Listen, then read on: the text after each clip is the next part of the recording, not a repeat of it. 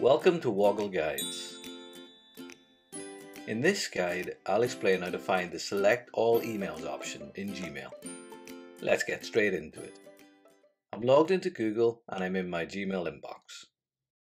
Gmail provides a super handy feature where if you click in the checkbox at the very top of your Gmail inbox, not only does that select all the email messages on this page, it also shows an option where you can select all the emails in your inbox. This is really useful if you want to clean up your Gmail account by archiving or even deleting all of the emails in your inbox. In some versions of the inbox, however, when you click on the Select All checkbox, only those emails on the page that is currently shown are selected. This is because some inbox types support bulk deletion of emails and some do not. You can see what type of inbox you have by opening the Quick Settings panel for Gmail. To do this, move your mouse cursor to the top right of the Gmail inbox.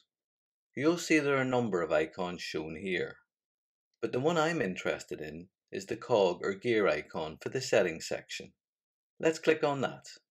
The Quick Settings panel then opens, and if I scroll down that panel a little, the inbox type section is shown.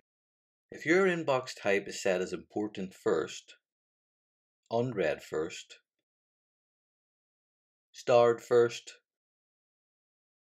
or priority inbox, the select all emails option is not shown by Gmail. To resolve this problem, you must change your inbox type to default. If I select that and then move my mouse back to the select all checkbox, on choosing that, now you can see that the select all option is shown as expected.